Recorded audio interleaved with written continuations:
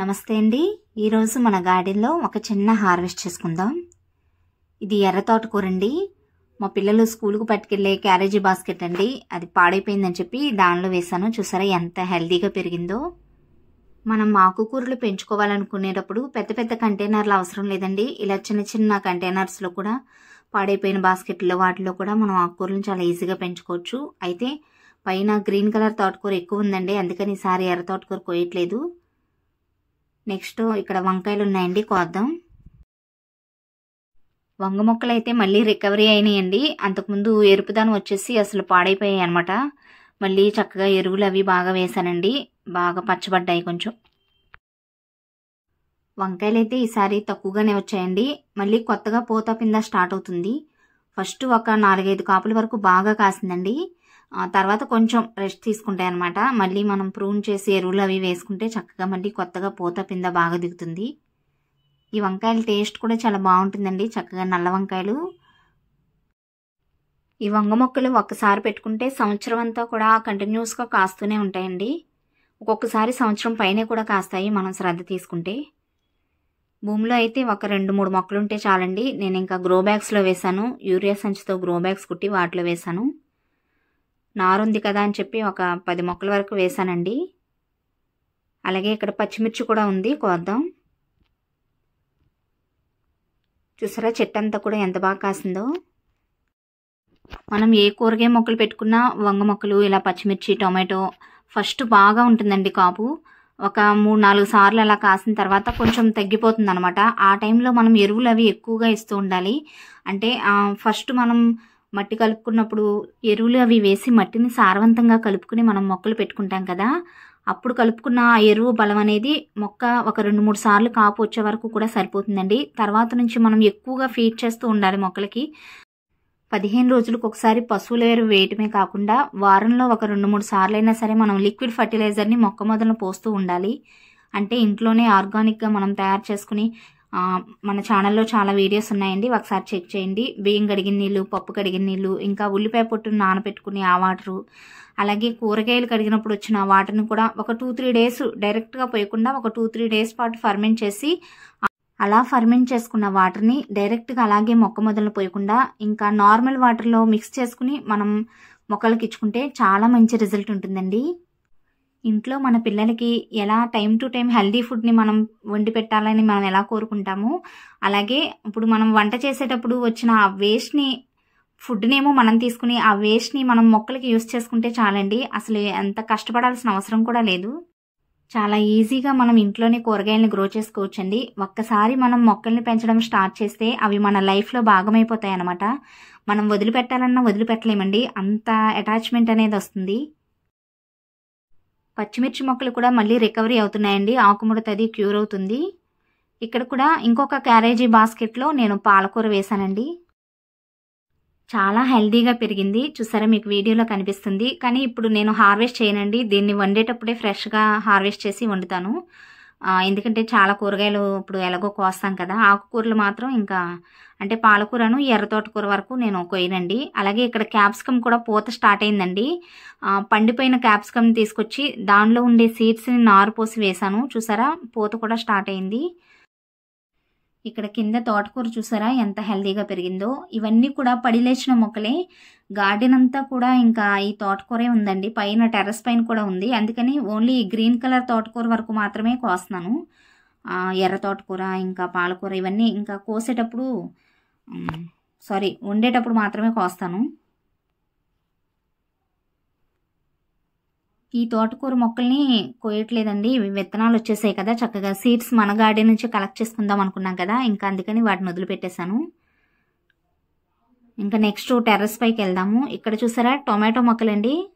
కాపు start అయింది. చాలా హెల్దీగా పెరుగుతున్నాయి టొమాటో మొక్కలు అయితే ఇంకా టెర్రస్ పైకి వచ్చేసామండి. ఇక్కడ చెట్టు చుక్కుడుకాయలు ఉన్నాయి. కోస్తున్నాను. కొత్తగా మళ్ళీ పెట్టానండి. ఇవి పాత మొక్కలే ఎన్నో దొరకలేదు అందుకని. నెక్స్ట్ ఇక్కడ బీరకాయలు కూడా రెడీ అయ్యాయి. బీరకాయ చూసారా ఎంత పెద్ద సైజులో వచ్చిందో? ధర్మకోల్ బాక్స్లో వేసానండి ఈ పాదని. చాలా మంచి పెద్ద సైజులో వచ్చిందనమాట. ఒక అర కేజీ వరకు ఉంటుందండి కాయ. వీడియోలో అయితే ఎలా కనపడుతుందో కానీ బయట మాత్రం చాలా పెద్దగా ఉంది. ఇక్కడ ఇంకొక కాయ ఉందండి. ఇంకా గార్డెన్లో బీరకాయలు కూడా పూత పిందది అది బాగా ఉందండి. మనకి ఇక్కడ నెక్స్ట్ హార్వెస్ట్లో బీరకాయలు ఎక్కువగానే దొరుకుతాయి. ఇది కూడా చూసారా ఎంత పొడవుగా ఉందో. ఇంకా కూరకి సరిపోవు కదా ఇది ఇంకా ఎదుగుద్దండి. కాకపోతే కోసేస్తున్నాను.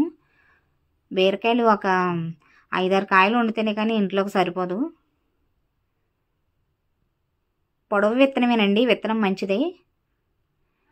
ఇక్కడ కూడా అంతే. ఈ బీరపాదు పెట్టిన కంటైనర్లోనే టొమాటో మొక్క వేస్తే అసలు ఎంత పెద్దగా అల్లుకుపోయిందండి. టొమాటో మొక్క అయితే గుబురుగా పాదు కనపడకుండా అల్లుకుపోయింది. చూసారా ఎంత పొడవుగా పెద్ద సైజ్ అండి. ఈసారి విత్తనం మంచిదే. ఇది చూడండి. ఉడతలు కొట్టేసాయి అనమాట బేరపిందని ఇంక ఇది ఎదగదు కదా కోసేసాను దీన్ని కూడా.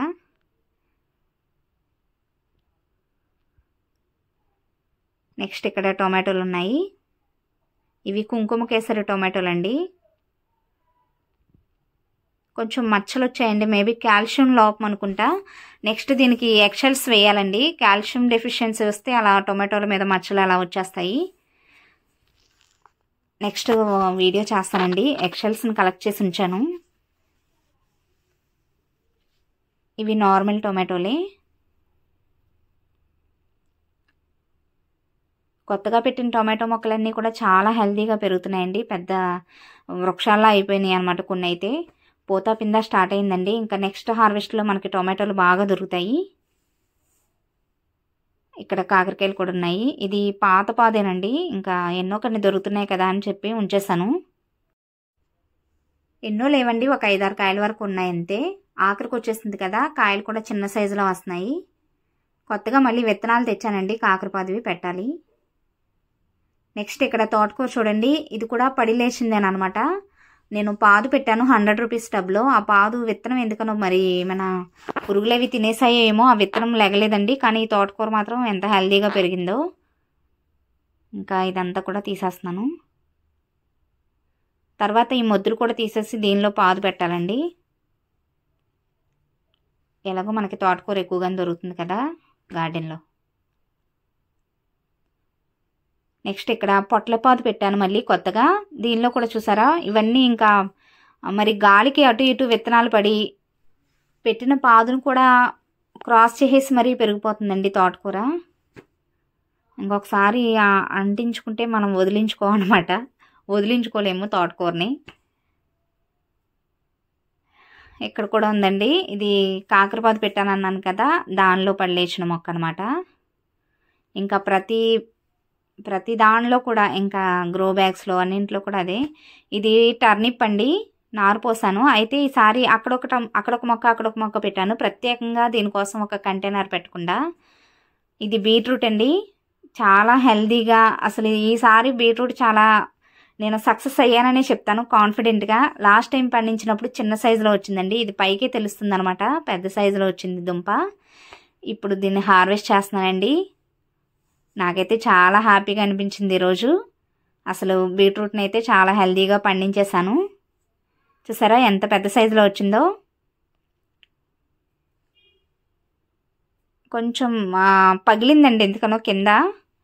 అయినా పర్లేదండి చాలా పెద్ద సైజులో వచ్చింది. ఇదివరకు నేను బీట్రూట్ పెట్టాను. అయితే చాలా చిన్నగా ఒక్క దుంప మాత్రమే అంటే ఒక్క మొక్క మాత్రమే నేను బ్రతికించుకోగలిగాను. అది కూడా చాలా చిన్న దుంప వచ్చిందండి. మనకి షాపుల్లో అయితే ఎలా ఉంటుందో అలా ఉంది చూసారా? మంచి కలర్లో.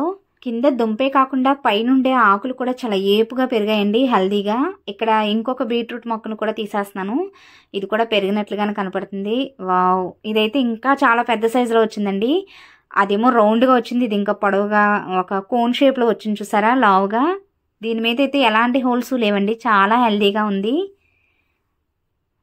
నార్మల్గా ఏ- ఎప్పుడు పండించే వెరైటీస్ కాకుండా బీరకాయలు బెండకాయలు చిక్కుడుకాయలు ఇలాంటివి కాకుండా ఇలాంటి రేర్ వెరైటీస్ పండించినప్పుడు చాలా హ్యాపీగా ఉంటుందండి.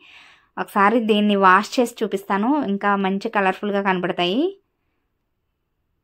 కడుగుతుంటేనే చూసారా ఎంత మంచి కలర్ వచ్చిందో బీట్రూట్. చాలా పెద్దగా ఉందండి. నా చేతికైతే అమరటం లేదనమాట. ఈరోజు హార్వెస్ట్ అయితే నాకు చాలా సర్ప్రైజ్గా కూడా అనిపించింది. అసలు ఇంత పెద్ద సైజులో వస్తాయని నేను ఎక్స్పెక్ట్ చేయలేదండి. చాలా హ్యాపీగా ఉంది.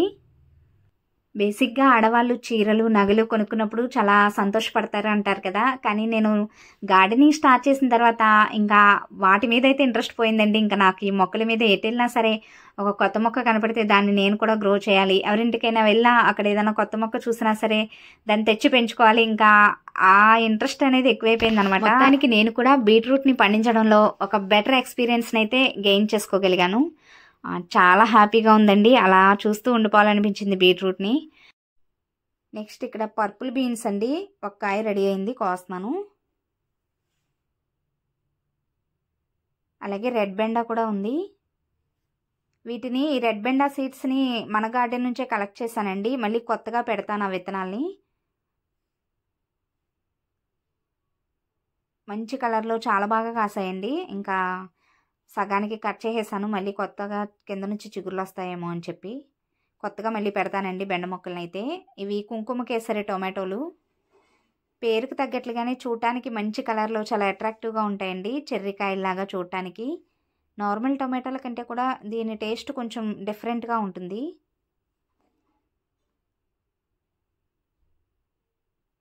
ఇంకా బకెట్లో వేసానండి పర్పుల్ బీన్స్ ఇవన్నీ పిందెలు అనమాట నెక్స్ట్ హార్వెస్ట్లో ఇవి యాడ్ అవుతాయి పెరుగుతాయి అప్పటికి. టొమాటో మొక్కలు కూడా చాలా హెల్తీగా పెరుగుతున్నాయి. ఇంకా కిందకు వచ్చేసామండి కనుపు చుక్కుడు ఉంది ఇక్కడ కోస్తున్నాను. దీని కింద భూమిలోనే పెట్టామండి పాదుని. భూమిలో పెట్టి పక్కన సపోర్ట్ ఇచ్చి పైకి ఎక్కించాము షాప్ ఉంటే. లాస్ట్ హార్వెస్ట్లో కూడా చాలా కాయలు దొరికాయండి. ఇప్పుడు కిందున్న వరకు మాత్రం నేను వీడియో తీసి చూపిస్తున్నాను.